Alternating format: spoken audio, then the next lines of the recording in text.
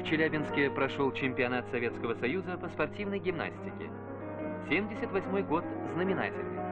50 лет назад состоялся первый чемпионат Советского Союза по этому виду спорта. Очень помолодела гимнастика. На пьедестал почета нередко поднимаются 12-13-летние спортсменки.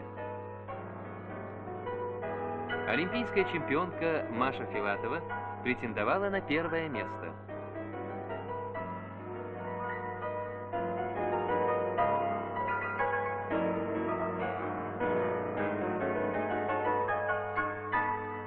По сумме очков Маша до последнего дня соперничала только с Леной Мухиной.